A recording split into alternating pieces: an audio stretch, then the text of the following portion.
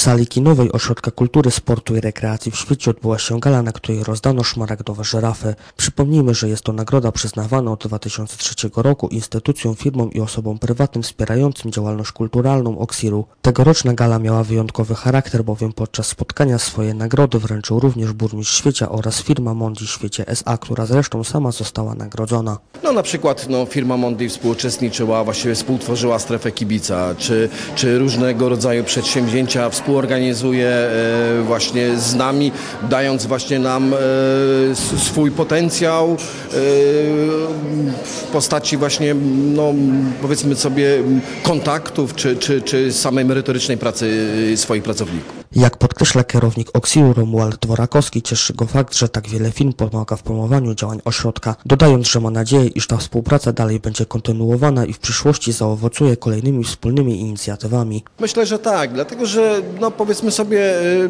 co roku mm, od kilku lat wręczamy i można powiedzieć żadna z firm do tej pory się nie wykruszyła z tego, z tego grona naszych przyjaciół, także myślę, że to będzie tak trwało dalej. Jak już wcześniej wspomnieliśmy, jedną z wyróżnionych firm jest Mondi, która od lat współpracuje z Ośrodkiem Kultury, czego dowodem może być uczestniczenie w takich projektach jak Papiernia czy Plus na Świecie Festiwal. Przedstawiciele firmy przyznają, że finansowanie życia kulturalnego to jedno z ich najważniejszych zadań społecznych, deklarując zarazem, że w dalszym ciągu będą oni wspierać m.in. świecki Oksir. Otrzymanie nagrody za to, bo szmaragdowa żyrafa to jest nagroda z tego obszaru właśnie, z odpowiedzialności społecznej biznesu, za wspieranie czegoś, tak, e, e, jakichś działań, no to e, tylko się cieszyć, tylko się cieszymy z takiej nagrody, jeżeli ją dostaniemy dzisiaj.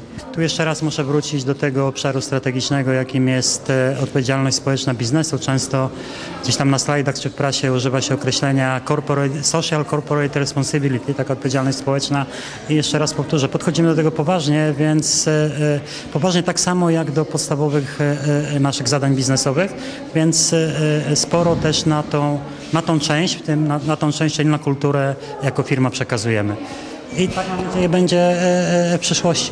W tym roku ws- współtworzyliście strefę kibica, która okazała się bardzo udanym przedsięwzięciem.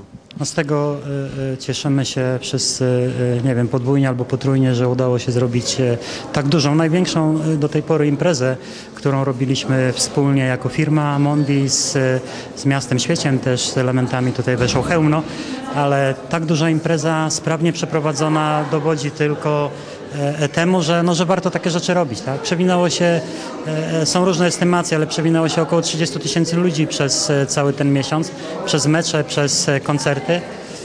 No jak tu się nie cieszy z takiego wydarzenia? Czy w dalszej perspektywie zamierzacie wspierać działania kulturalne w naszym mieście? Tak, e, znowu wrócę do tych działań strategicznych. Działania strategiczne to nie są działania ukierunkowane na rok, na dwa czy na pięć. One są długofalowe, długoterminowe. Firma co roku przeznacza e, e, część swoich dochodów na, na te właśnie cele i tak będzie się działo w następnych latach. E, Dzisiaj mówimy o kulturze, bo szmaragdowe żyrafy to kultura, ale to jest nie tylko ten obszar, który firma wspiera. A czy poza właśnie wspomaganiem finansowym będziecie też tworzyć, tak jak w tym roku, strefę kibica? E, tak, nie wiem czy w tym roku, w tym roku nie ma jakichś takich dużych planów, jakie były w zeszłym roku. W zeszłym roku, e, e, e, jak wiemy, no była ku temu okazja, tak, bo było Euro 2012 i taki rozmach, tak. E, Myślimy o następnym wydarzeniu e, większym, ale myślę, że 2014, nie 2013, tak. No, Znaczy ja nie mówię o tym, że nic, tak. Normalnie będzie coś się działo, a jeśli chodzi o jakieś większe wydarzenie, być może w 2014 roku, jeżeli się z, te plany zrealizuje.